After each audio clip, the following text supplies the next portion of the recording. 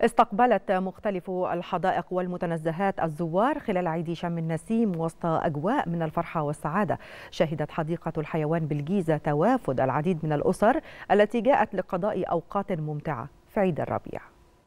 أجواء من الفرحة والسعادة شهدتها مختلف الحدائق والمتنزهات خلال احتفال الأسر المصرية بعيد شم النسيم، حيث استقبلت حديقة الحيوان بالجيزة العديد من الأسر التي جاءت لقضاء أوقات ممتعة بعد رفع الحديقة لكفاءتها استعدادا لهذه المناسبات. كل سنة ومصر كلها طيبة.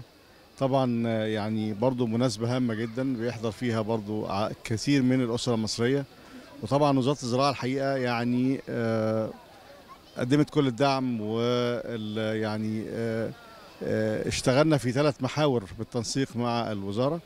والحقيقة يعني الثلاث محاور دول بيشملوا أول محور هو محور استخدام حيوانات جديدة وصحة الحيوانات ومظهرها في العرض. ده مهم جدا.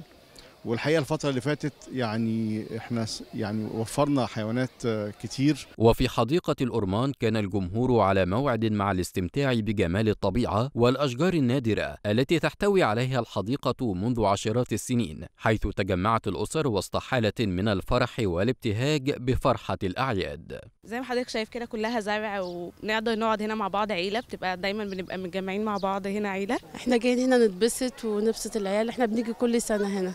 جاية مع العيلة بابا وماما والعيلة كلها وجايين نتبسط ونفرح وإحنا أصلا كل سنة بنيجي هنا يعني. إحنا بنحب نيجي دايما في يوم شم النسيم هنا في جنينة الأورمان لأن مكان جميل وكله خضرة وحاجة جميلة جدا جدا. يتزامن الاحتفال بعيد شم النسيم وعيد القيام المجيد مع الاحتفال بقرب قدوم عيد الفطر المبارك حيث يحتفل سائر المواطنين أقباتا ومسلمين بهذه المناسبات العزيزة على نفوس قلوب كل المصريين.